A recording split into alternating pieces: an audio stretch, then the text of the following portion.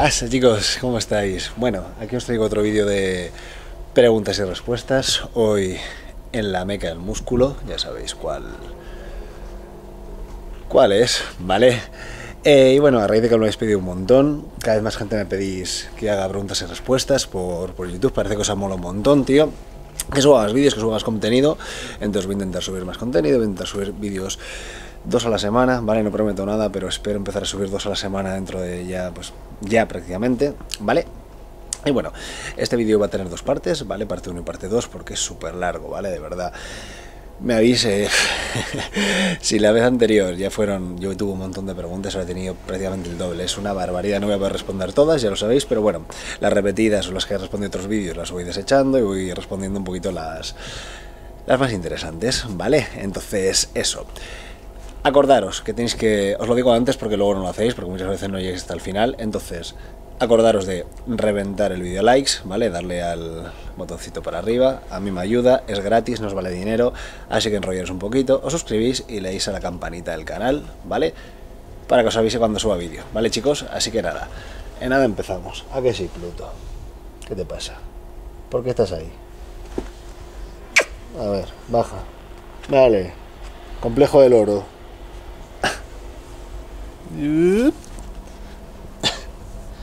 Perfecto, papi.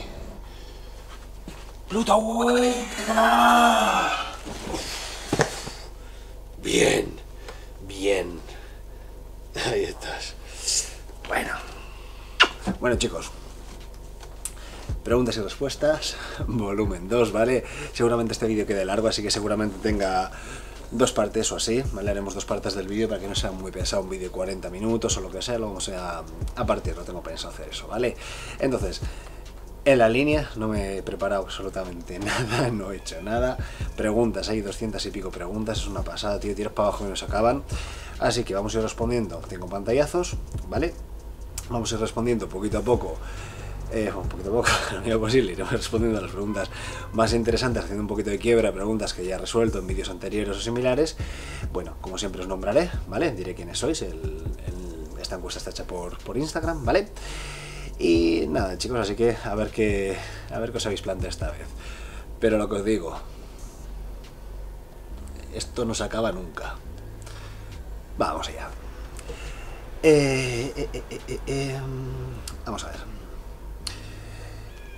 Eh, ¿Cuándo vuelves a competir y qué objetivos tienes? Enhorabuena por el físico. Esta pregunta es de chris.b.o. Vale, muchas gracias, tío, por el, por el comentario. Y, vaya, ¿cuándo vuelves a competir? Esto lo dije en el vídeo anterior. Eh, realmente voy a competir cuando crea que sea competitivo en la liga profesional. Entonces, si cuando empiece a competir, intentaré clasificar para Olimpia. Si empiezo a competir la segunda temporada de este año, intentaré clasificar para Olimpia 2020 y si empiezo posteriori empezaré de la, empezaré de la misma manera 2020 para Olimpia 2021 la clasificación para Olimpia eh, es desde el Tampa, Pro creo que es en agosto a principios de agosto finales de julio algo así hasta julio del año siguiente con lo cual hay que sumar puntos en todo el circuito vale porque también hay opciones de, de pasar por pase directo pero es que realmente es muy difícil que sonar mucho la flauta y hay gente yo a día de hoy no me veo con el nivel para en un campeonato profesional meterme en un, top, porque esos tíos están descomunales. Vale, Iván Parola pregunta, eh, eh, eh, buena pregunta, tío. ¿Cómo cojones puedes poner tus pantalones pitillo con esos jamonacos? pues mira, tío, no sé si lo sabes, pero hay un refrán que dice con paciencia y con saliva todo entra, así que al lío. Vale. Vale. JL Ranera pregunta, ¿Qué música escuchas entrenando? ¿Qué te motiva? Eh, a ver, realmente escucho de todo, os digo la verdad.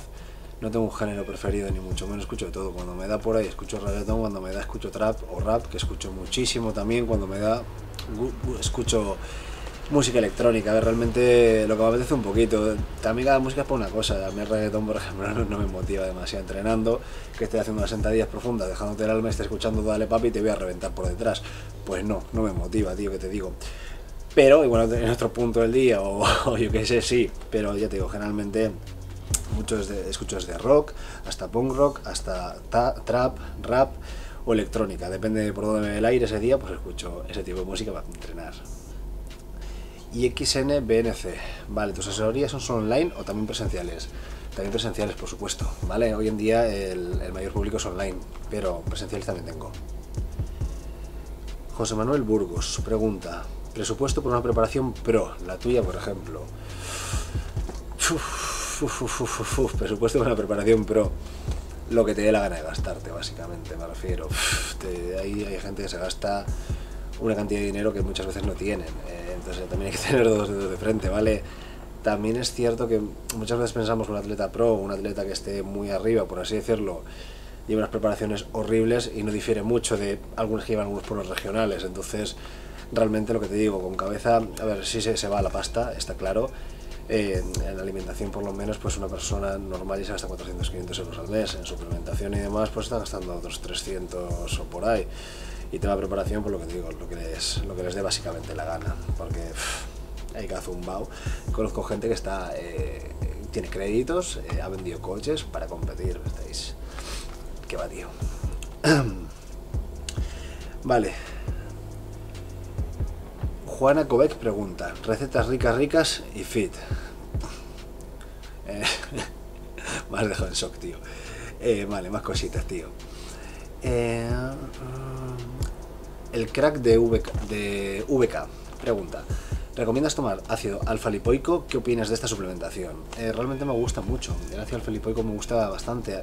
Lo suelo ciclar a lo largo del año, pero sí que lo meto en bastantes etapas. eh. Por ejemplo, en ayunas es un mu- un muy, buen momento del día para tomarlo, después del entrenamiento o incluso antes de dormir, ¿vale?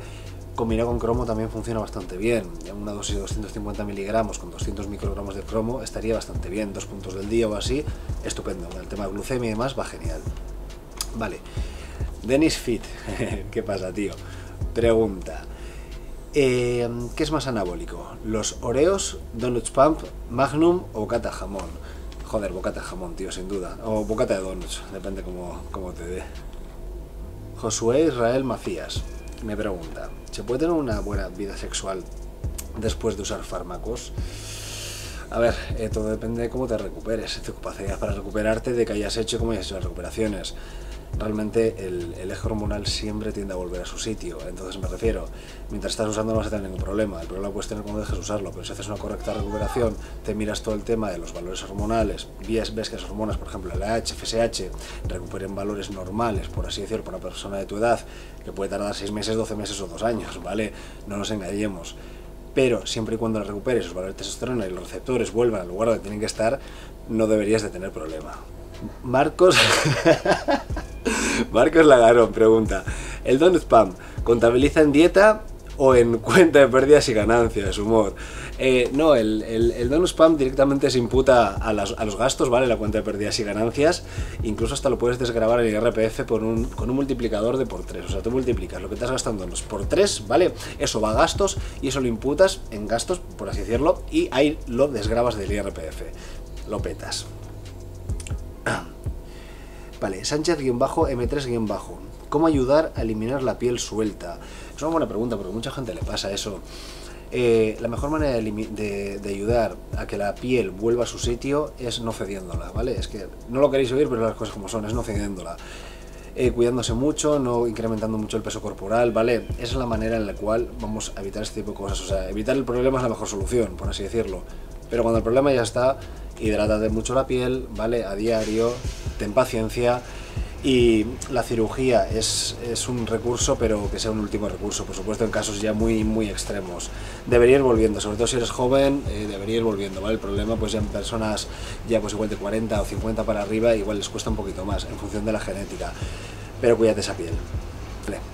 Edu Romero, bien bajo, pregunta, para ti, ¿cuál es la definición de serie efectiva? Vale, para mí una serie efectiva es una en la cual te quedas por lo menos a dos, tres eh, repeticiones del fallo. Para mí, una serie en la cual considero que el fallo va a llegar en dos ejecuciones, en dos repeticiones más, ¿vale? Para mí eso ya es una serie efectiva. O sea, me refiero, una serie efectiva no tiene que ser porque ir al fallo en cada una de las series, porque es más, yo no voy al fallo, yo en cada entrenamiento consigo un fallo, dos con suerte y ya está.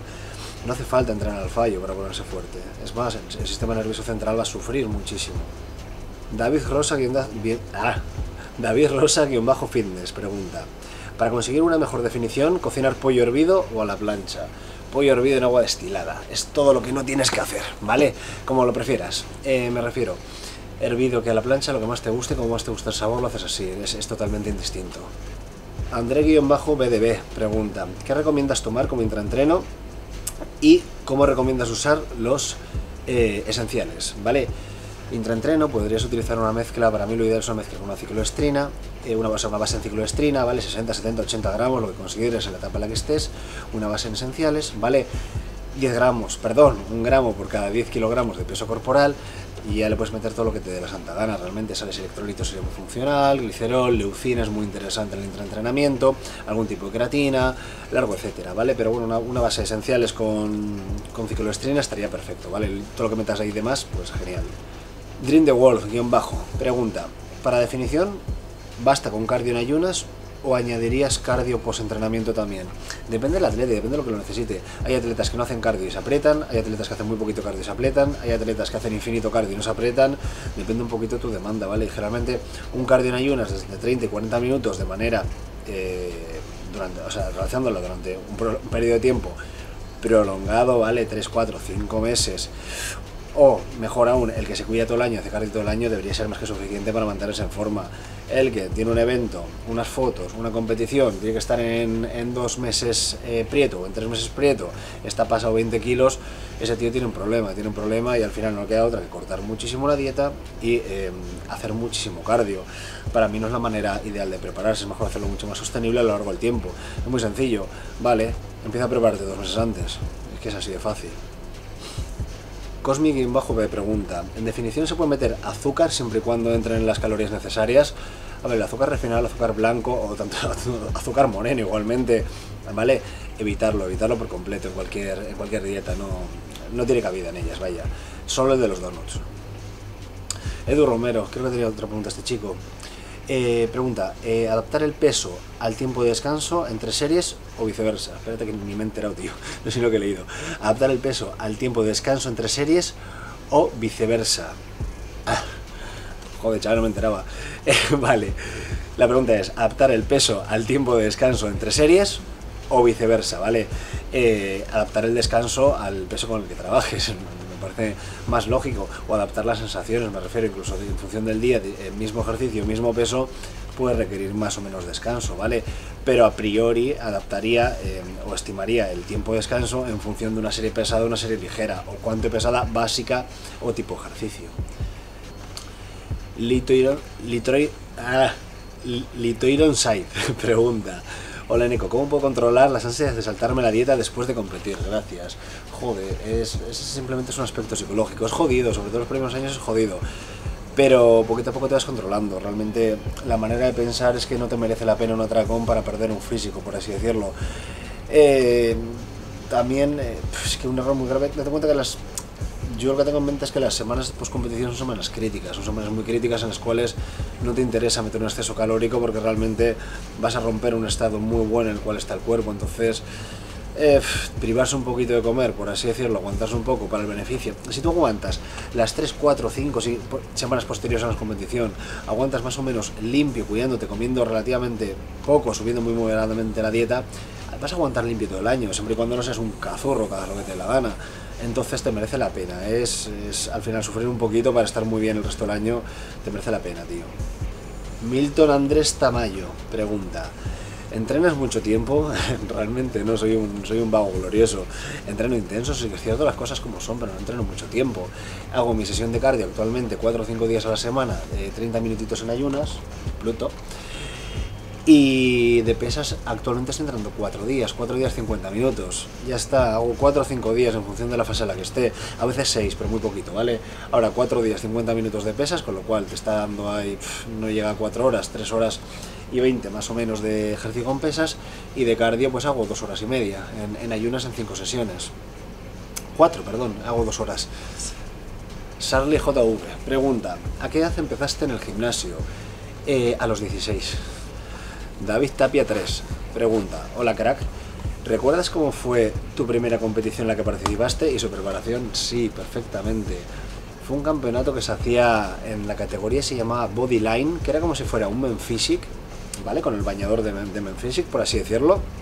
Pero en ese momento se llamaba Bodyline o algo así, la categoría. El campeonato se hizo en aquí en, en Guerni- no, eh, perdón, en, en Sondica, ¿vale? Creo que fue el campeonato. Y me acuerdo que lo gané, lo gané. Eh, más, más nati que las natillas, tío, además, ¿eh? Nada, ¿vale? Ni una diuresis, ni nada. Super nati. Y gané el campeonato en, la categoría este de Bodyline. Eh, creo que eran 64 kilos, 63 kilos, parecía una raspita, pero sí. Y ya te digo, me acuerdo además porque esa categoría, la body- Bodyline que era, que era un bañador, y me acuerdo que me metieron un montón de cera por ahí, en algún foro, en algunas fotos, ahí hace un montón de años, era 2011, 2010 creo. Y, por el tema de ¿qué, os parece esto que compitan en, bañador, no sé qué, no sé cuánto, como que era un, como que era pues patético que salieran atletas competidores sin mostrar las piernas. Y mira ahora, Men Physique, la categoría que con diferencia más paladas de dinero mueve de, de cualquier campeonato, pero bueno, ya veis. Inma Muniz pregunta, hola, ¿qué opinas de los ARMS? Chicas y chicos, gracias. A ver, eh, también lo dije en el, en vídeo anterior, a excepción de un par de ellos que sí que me parecen funcionales, ¿vale?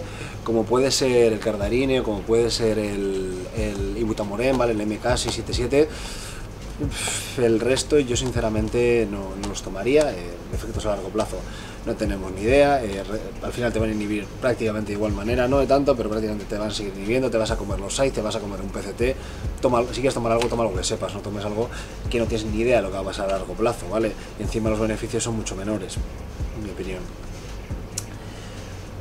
Pierre-0711 pregunta, ¿entrenar pecho, altas repeticiones, peso moderado pocas repeticiones? Y si trabajas un espectro, por así decirlo, un rango de repeticiones más amplio, conseguirás un mayor, mayor estímulo sobre... eh, o conseguirás reclutar un mayor número de fibras musculares. Entonces, no es más lógico trabajar repeticiones desde 6 hasta 20, hasta 25 incluso, variando en función del ejercicio, sea básico, tipo de ejercicio que hagas, para al final reclutar un mayor número de fibras y conseguir un mayor estímulo. No te cierres a, una opción únicamente. Hay un montón repetidas, chicos, por eso la- las paso largo.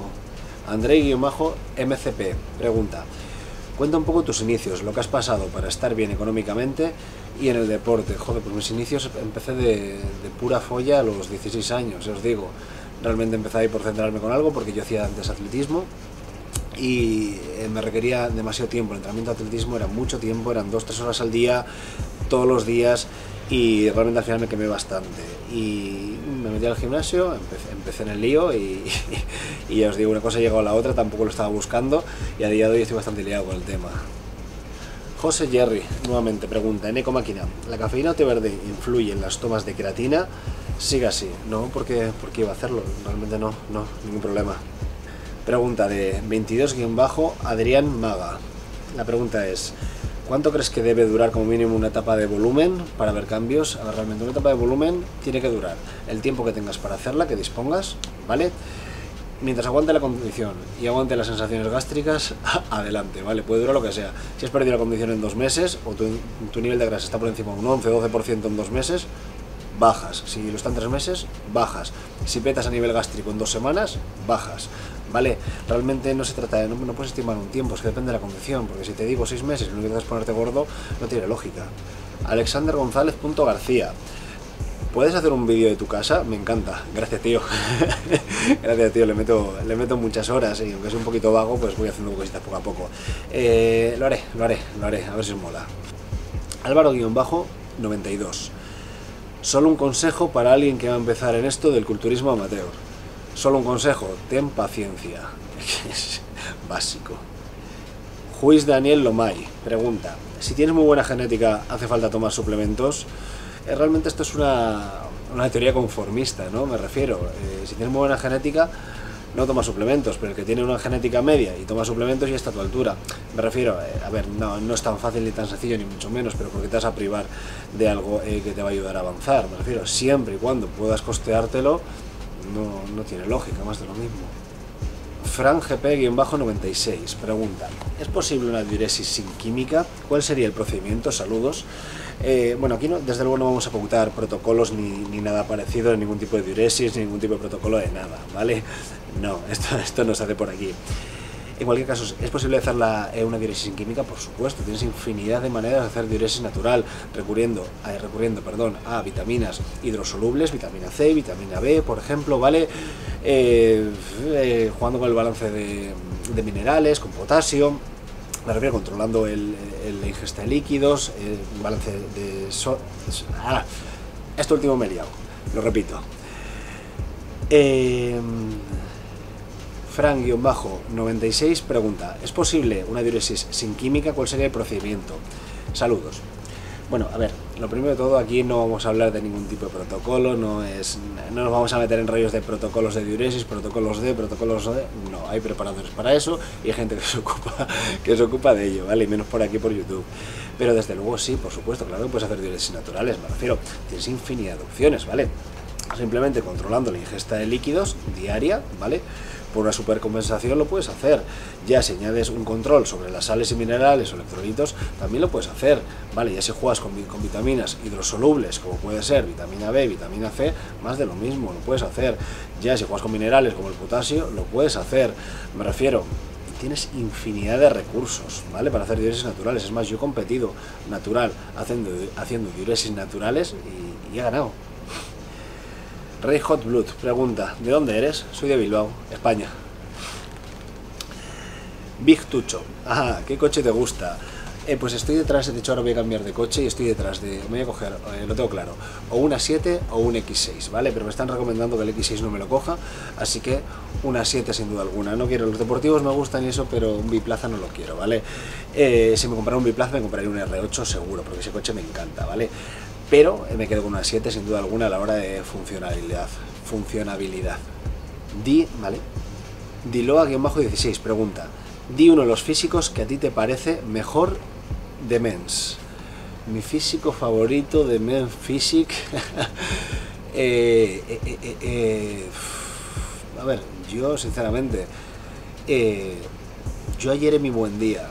Si sale como tiene que salir, no lo que ha hecho este año, bueno, este año, en 2018. Si sale como tiene que salir, es un físico impoluto, que no hay que sacarle ningún tipo de pero.